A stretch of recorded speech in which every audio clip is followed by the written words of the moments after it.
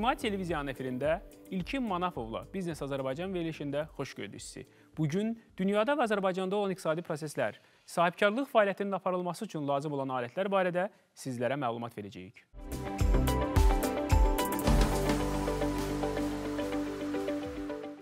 Bugün Biznes Azərbaycanda biləcəksiniz. Bağ evləri kəskin bahalaşdı.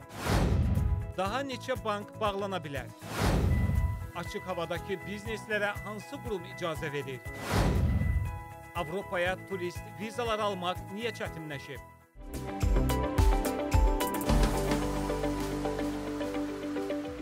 Azərbaycanda bağ evlərinin qiymətində kəskin bahalaşma müşahidə edilir. Bahalaşma özünü yalnız satış rəqəmlərində deyil, həmçinin kirayə qiymətlərində də göstərir. Bu sahəni ətraflı araşdırdıq.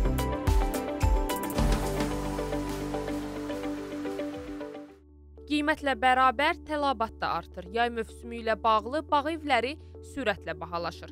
Ötən illə müqayisədə kirayə qiymətlərində 20%-ədək artım var. Məsələn, pandemiya dövründə 1500 manata kirayə verilən e, e, məsələn bağ evi Məsələn, keçən il bu qiymət 1000 manata düşdü. Bu ildə təxminən 1000-1200 manat arasında dəyişir. Ən çox bahalaşma Bilgəh, Mərdəkan, Buzovna və Zaqulba ərazilərindədir. Bəzi bağ evlərində aylıq kirayə haqqı hətta 10 min manata çatır. Qiymətlər başlayır məsəl üçün icarələrdə 2000 manatdan 8-10 e, min manata qədər dəyişiklik hiss olunur. Əsasən də şəraiti geniş sahəsi olan bağ evlərinə üstünlük verilir və bir də mütləq və mütləq hovuz olmalıdır. Gündəlik bağ evlərində də qiymətlər artıb. Məsəl üçün başlayır 100-150 manatdan 300-350, 400 manata qədər gündəlik e, bağ evlərinin dəyişir. Qiymətlərdəki yüksəliş yay aylarında tələbatın artması ilə əlaqələndirilir. Realtorlar deyir ki, mart-aprel aylarında belə evləri bron edənlər var. Buna baxmayaraq vətəndaşlar daha çox ciblərinə uyğun bağ evlərinin axtarışındadılar. Dənizkənarı bağlar qiymətlər mövsümlə əlaqədar olaraq qalxdığı üçün biraz çətinlik çəkirik, amma yenə də ailənin istirahəti üçün məcburiyyət qarşısında e, dənizə yaxın gözəl şəraiti olan hovuzu olan bağ evi götürüb istirahət üçün istifadə edəcəyik. Digər yerlərlə də maraqlanmışıq. Novxanı ərazisi cibimizə daha uyğun olduğuna görə yəqin ki, bu il Novxanadan bağ götürərik. Bağ evlərinin satışında da canlanma var. 20%-ədək qiymət artımı burada da hiss olunur. Bu əsasən torpaq sahələrinin qiymətinin artımı ilə bağlıdır. Bu gün məsələn qiymətlər e, torpaq sahələrinin qiymətləri çıxarışla təmin olunan torpaq sahələrinin qiymətləri təxminən 3000 manatdan başlayaraq bir sot üçün təxminən 50 min manata qədər də olan bağ evlərinin, torpaq sahələrinin qiymətləri var. Bağ evlərinin qiymətləri isə minimum təxminən 70-80 min manatdan başlayaraq 5 e, milyon manatdan da artıq e, bazarda mövcud olan bağ evlərinə rast gələ bilirik. Mütəxəssislərin fikrincə növbəti yay aylarında bağ evlərinin qiyməti bir qədər də arta bilər.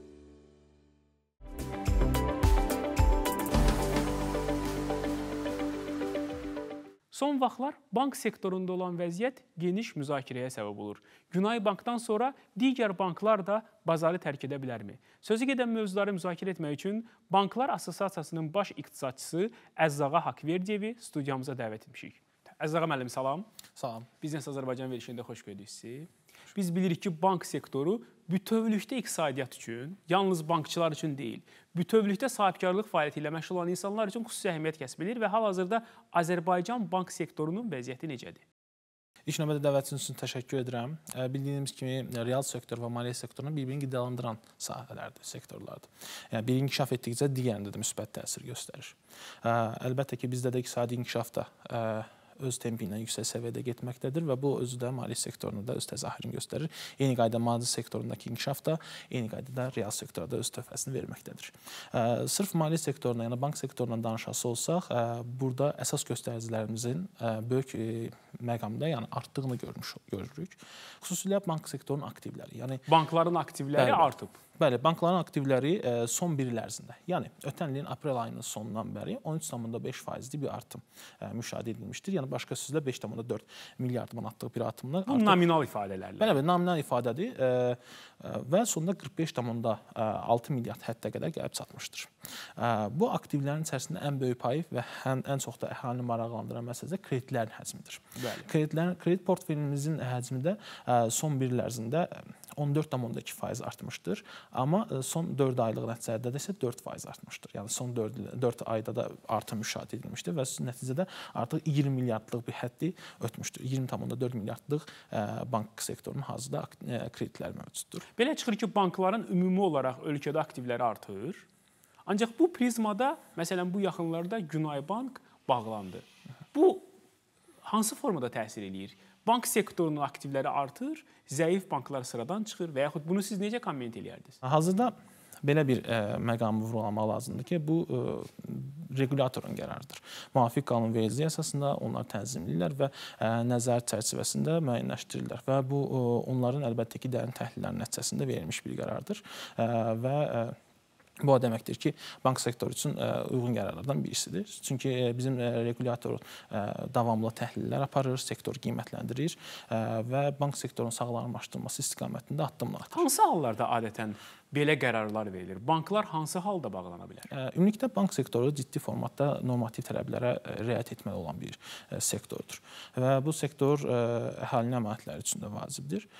Bu məqam bu səbəbdən də normativlərdən ciddi kənarlaşma olduğu zaman belə qərarlar verilir. Bəs biz siz burada hal-hazırda əmanətlərə toxundunuz.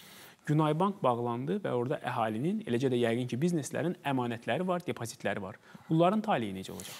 Bu məqamlar hamısı əmanətlərin sığortalanması haqqında müvafiq qanunun müvafiq qanun maddələri ilə tənzimlənir.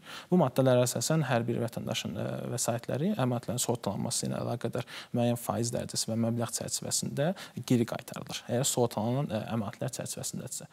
Buna əlaqədar da Günay Bank bağlandıqdan sonra əmanətlərin sığortalanması fondu artıq bu istiqamətə açıqlama vermişdir və Bəli. bu belə əmanətlərin qaytarılması prosesi artıq 19 iyun tarixindən etibarən başlanacaq. 6-cı ayın 19-undan artıq əmanətlər geriyə qaytarılacaq. Bəli. Bəli. Bəs ümumi götürsək, bank kreditlərinin faizləri inkişaf etmiş ölkələrlə müqayisədə və müstəqil dövlətlər birliyinin ölkələrlə müqayisədə Azərbaycanda bahadır ya baha deyil? Ümumilikdə trendə nəzərə salmaq lazımdır. Azərbaycanda hazırda bu hansı istiqamətdə gedir? Son bir illər nəzərə salsaq, Mərkəzi Bankın açıqladığı hesabatlara əsasən son bir il ərzində Azərbaycanda verilmiş yeni kreditlərin faiz dərəcəsinə baxmaq lazımdır. Bəli. 12 aylıq ortalamaya əsasən bu 16-dan %33%-dir. Bu effektiv faizdən söhbət gedir.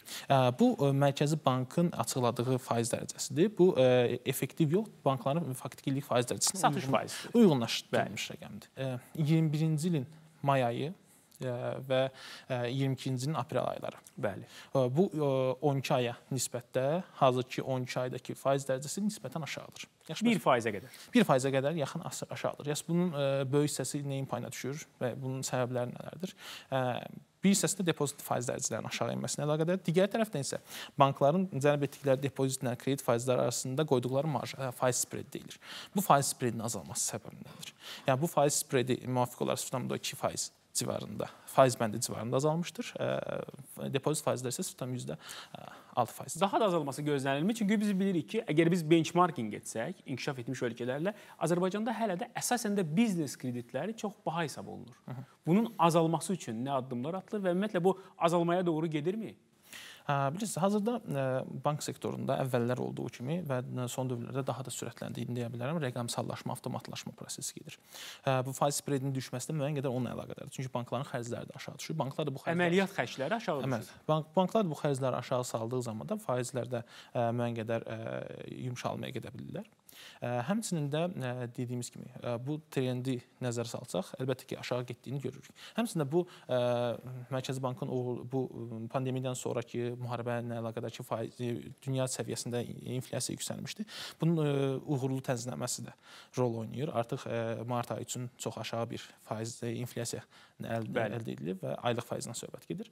Bu azalma tempi də əlbəttə ki, müəyyən qədər də faizlər öz təsirini göstərə bilər. Bəs rəqəmsallaşmadan danışdınız. Biz bilirik ki, dünyada bankların, hətta bəzi fikirlər var ki, banklar olmayacaq, bankçılıq olacaq. Yəni bankçılıq fəaliyyətini yalnız banklar deyil, digər innovativ texnoloji şirkətlər də həyata keçirə bilər. Hı -hı. Siz necə düşünürsüz? Azərbaycanda da banklar bankçılıqla ayrılacaqmı? Biz ə, hazırda ə, xarici bankların təcrübələrini də öyrənirik.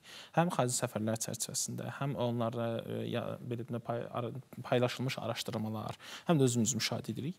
Ə, bu ə, nəticədə artıq göstərir ki, bəzi banklar artıq özünü bank olaraq yox, ə, bank xidməti göstərən IT xidmət şirkətləri olaraq Bəli. Və ya bəzi IT şirkətləri həm də özlərini bankçılıq fəaliyyəti göstərən IT şirkətləri kimi mövqeləndirirlər. Bəli, bəli, artıq bu ə, tendensiya var və artıq ə, belə deyim, bir çox bank xidmətləri xaricdə ə, müvafiq brokerlər tərəfindən və ya bu dediyiniz startap, hazır ki biz onu fintechlər adlandırırıq artıq, onlar tərəfindən göstərilməkdədir. Bu tendensiya əlbəttə ki Azərbaycanda da vardır və regulyator Mərkəzi Bank da bu istiqamətdə bir çox addımlar atır, çalışır ki, bank sektorumuz və ümumilikdə bankçılıq ə, bu istiqamətdə doğru getsin və bunun qarşısını ala biləcək ə, maneələr yox, bunu bu çağırışa cavab verəcək addımlarla çıxış etsin. Hazırda xüsusi bir məsələni qeyd etmək istəyirəm ki, hazırda bank sektorunda həyata keçirilən ə, addımlar, istər biznesin maliyyələşdirməsi, istər digər sektorlara dəstəyin göstərməsi, istər, istər siz dediyiniz rəqəmsallaşma, avtomatlaşma prosesinə getməklə əlaqədar ə, bir çox qaydalara, həmçinin də qanunlara dəyişikliklər edilir. Hazırda mən bildiyim qədərilə 38-ə yaxın ə, hətta 38 ə, qanun layihəsinə Mərkəzi Bank tərəfindən dəyişikliklər təklif edilmiş və artıq bu növbəti səf növbəti həftələrdə Milli Məclisdə müzakirə Yəni bizi fərqli bankçılıq gözləyir. Bəli. Biz hal-hazırda sizinlə bankın əməliyyat tərəflərindən danışdıq. Dedik ki, kredit faizlərinin aşağı düşməsi üçün banklar əməliyyat xərclərini aşağı salmalıdır. Paralel olaraq biz bilirik ki, kredit faizlərinə təsir edən əsas məqamlardan biri də əmanət faizlərdir. Çünki banklar əhalidən vəsaiti cəlb eləyir onu kredit olaraq satır. Bu proseslərdə biz bilirik ki, son qanunvericilikdə əmanətlərin vergiyə cəlb edilməsi prosesindən biz danışırdıq. Burada vəziyyət necədir? Bu ümumi bankların rentabelliyinə necə təsir göstərə bilər? Hə, ümumilikdə cari ilin 1 fevral tarixindən etibarən e, əmanətlər üzərində edilən gəlirlərin vergiyə cəlb edilməsi ilə əlaqədar verilmiş güzəşt müddəti bitmişdir. Bəli. Və artıq ə, bu dövrdən sonra əmanətlər üzərində edilən gəlirlərə görə ödənişlər, yəni vergilər tutulmaqdadır. Lakin bu göstərici əməklərə gözləndiyi kimi mənfi yox, əslində qalsa mənfi təsir etməmişdir. Bu artım trendi davam etmişdir. Nəyin hesabına? Göstəricidə nəzərə yetirsək, son 23-cü ilin fevral, aprel aylarında, hansı ki bu vergiyə cəlb edilmə dövrüdür.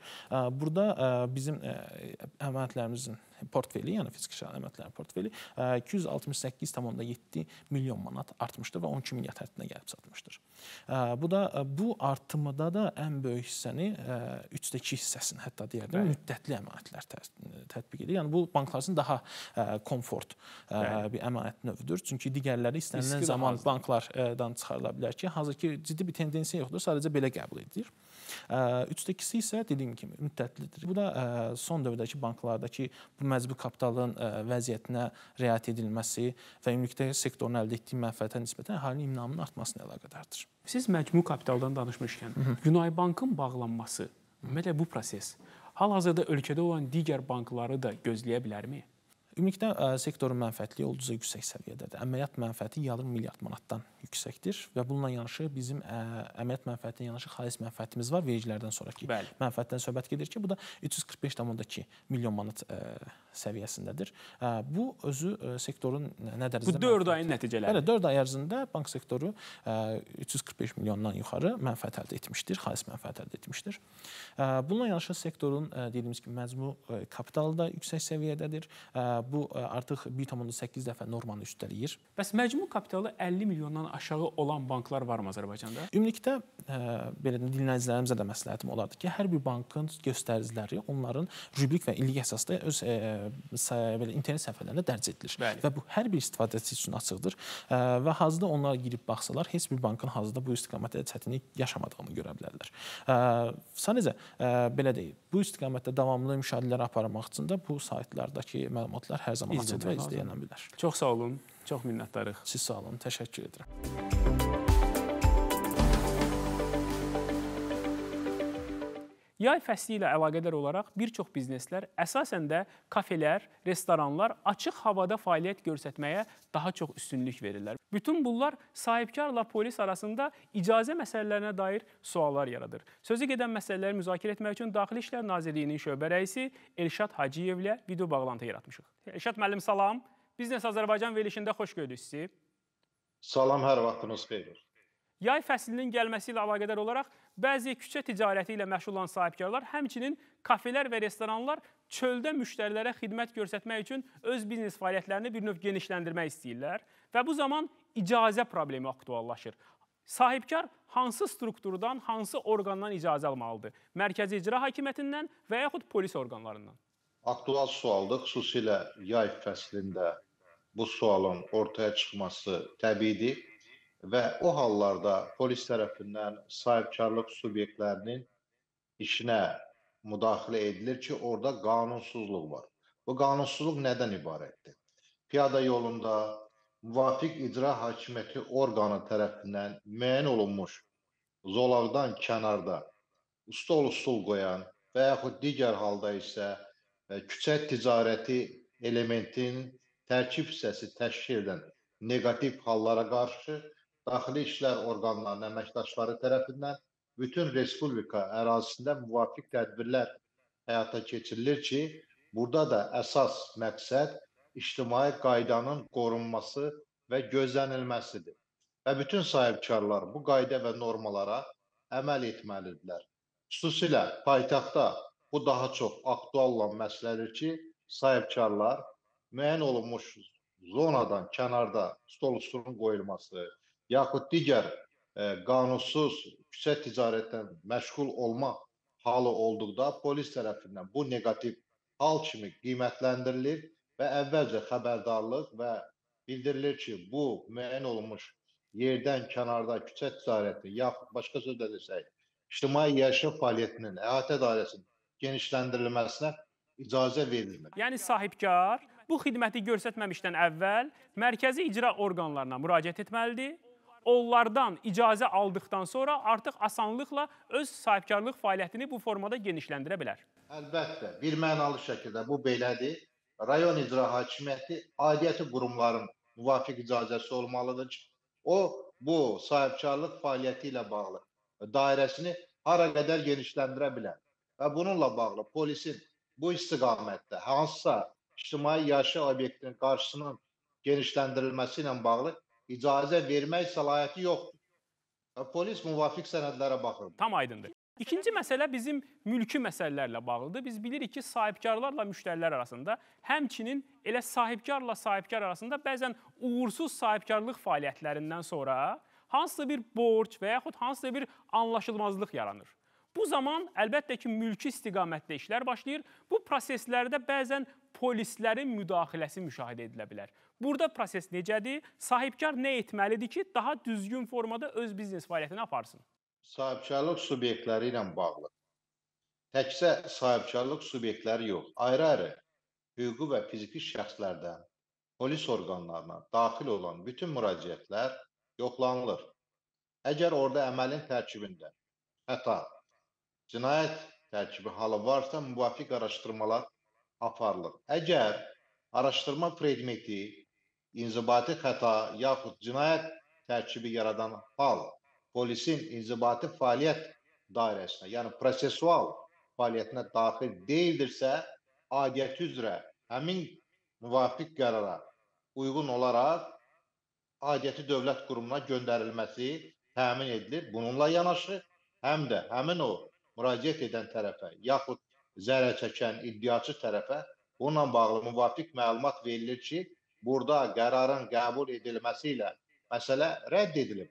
Baxılmır. Ona görə baxılmır ki, bu mülkü predmet olduğuna görə ya məhkəmənin, ya digər dövlət qurumlarının fəaliyyət sahəsinə aid olduğu üçün baxılmadan həmin istiqamətə göndərilməsi tövsiyə edilir. Bizim verilişimizə daha çox sahibkarlar baxırlar və hal-hazırda televiziya qarşısında olan bir sahibkar o düşünür ki, bəzən polislə onun arasında narazılıqlar var. O düşünür ki, ona qarşı haqsızlıq olub. Belə hallar olduğu zaman Elşad müəllim, Azərbaycan sahibkarı hara müraciət etməlidir? Azərbaycan Respublikasının daxili işlər orqanlarının hər bir əməkdaşı bu barədə məlumatlıdır ki, Azərbaycan Respublikasında sahibkarın e, ictimai mövqeyindən, vəziyyətindən, onun e, fəaliyyət sahəsindən asılı olmayaraq qanunla onun hüquqları mühafizə edilir.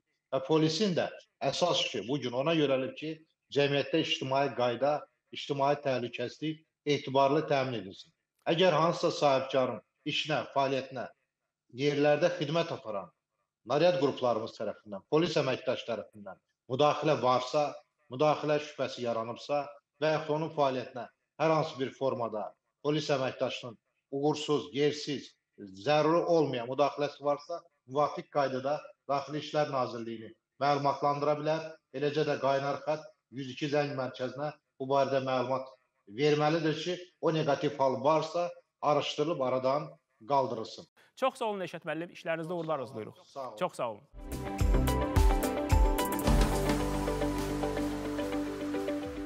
Dünyada ən gəlirli sahələrdən biri də turizm sektorudur. Pandemiyadan sonra turizm sektorunun gəlirləri daha da artdı və ümumilikdə bu sahədə rəqabət daha da gücləndi. Bəs Azərbaycanda turizm sektorunda vəziyyət necədir? Bu sahədə şirkətlərin gəlirlərinin artırılması üçün hansı addımlar daha vacibdir? Biz İlkin Manafovla işləmək vaxtıdır rubrikasında Azərbaycanda turizm sektorunda fəaliyyət göstərən şirkətlərin birində olduq.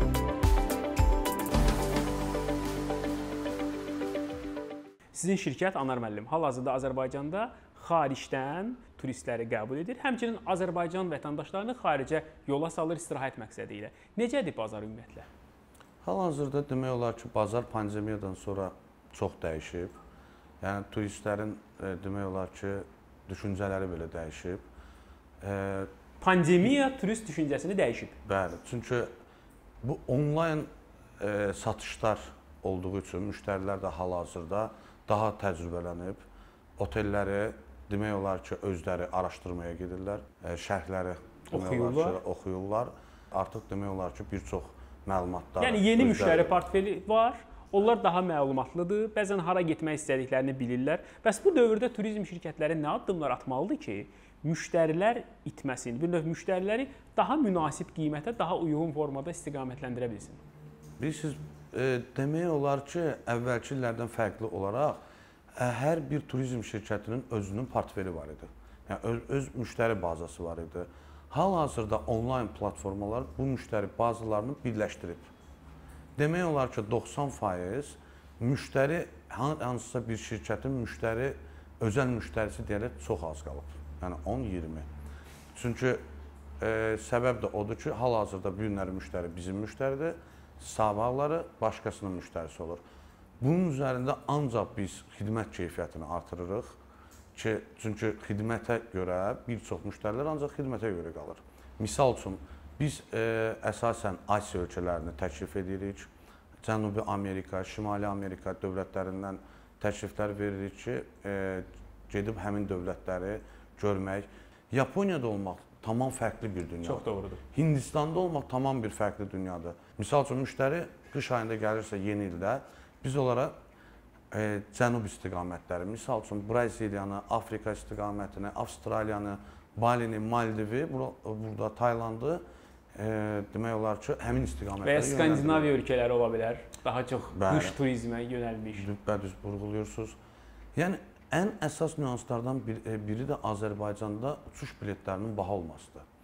Və bu uçuş biletlərinə görə istiqamətlər təyin olunur. E, Low cost şirkətlər var ki, hal-hazırda misal üçün Romaya birbaşa uçuş açılıb və Romaya birbaşa uçuşun olmağından ötürü e, deməli satışları artırıb İtaliya. Demək olar ki, səfirliklərdə yer yoxdur. Əməkdaşlarımız gecə saat 2-də, 3-də, 4-də durub yer axtarırlar. Bu niyə Ya belədir olmaz. sizcə? Ümumiyyətlə bu sıxlığın çoxluğundandır ya məhdudiyyətlər var? Niyə Avropaya Schengen vizası almaq bu qədər çətindir? Schengen vizası almaq bəli çətindir, çünki tələblər artıb. E, həmin konsulları inandırmaq lazımdır ki, bizim gedən turistimiz turistdir. Yəni gedib geri qayıdacaq. Yəni konsul hiss etsə ki, həqiqətən müştəri turist kimi gedir, həmin dövlətə xeyir verir və geri dönəcəksə viza verir, problem yox. E, problemi yoxdur burada. Ən əsası vizanın doldurulmasında da müştərilər çox demək olar ki, səhvlər buraxırlar. Misal üçün Britaniya səfirliyində hər bir sənəd yerində olsa belə, arxayın olsa ki, misal üçün uşağına görə geri qayıdacaq, maliyyə arayışına uyğun olaraq balansı göstərməsə imtina gəlir. Yəni misal üçün göstərir ki, 3000 maaş alır, hesabında 50 min pul göstərirsə, bunun mənbəyi bilinmirsə imtina gələcək. Yəni belə bir səbəblərdən var. Hal-hazırda bazarda dəyişikliklər var. E, turizmdə birbaşa Trabzona uçuşlar açılıb və Ayder bölgəsi Türkiyənin həmin istiqamətləri. Çox fərqli istiqamətlərdir. Fərqli istiqamətdir.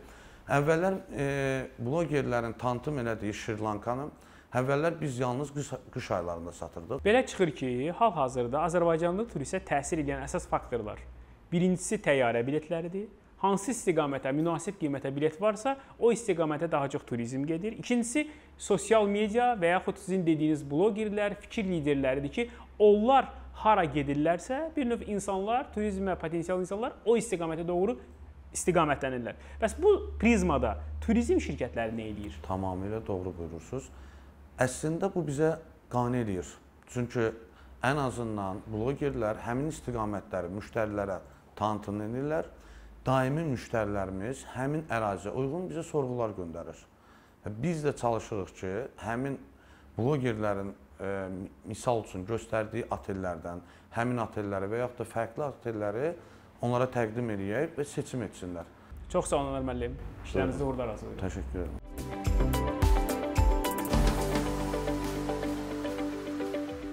Turizm sektoru bütün dünyada olduğu kimi Azərbaycanda da əhalinin sıx məşğul olduğu sahələrdən biridir. Bəs müasir dövrdə Azərbaycanlı sahibkar hansı addımlar atmalıdır ki, turizm sektorunda daha mənfəətli biznes qura bilsin?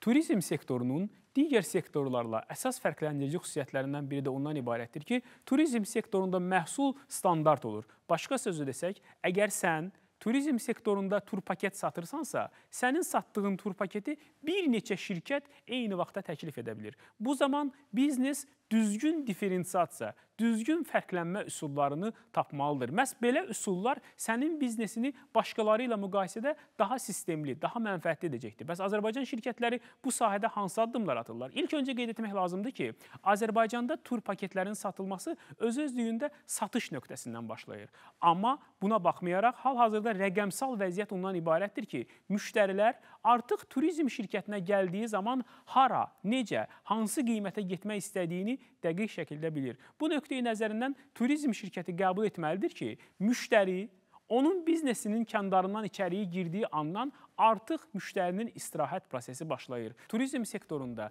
mövsümi xarakteri olsa da, hər bir sahibkar uzunmüddətli işçiliyi təmin etməlidir. Yəni sahibkar çalışmalıdır ki, onunla çalışan işçilər bir mövsüm deyil, bütövlükdə iş prosesində onun yanında olsunlar. Bir sözlə, çox düşünməyin, əsl işləmək vaxtıdır. Növbəti həftə görüşərik.